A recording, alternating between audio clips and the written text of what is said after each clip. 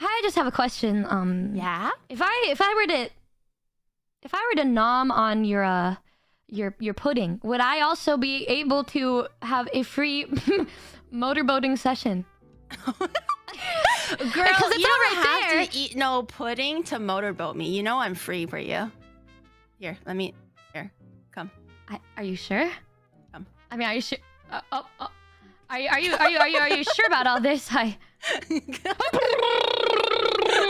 Oh my god! Thank you.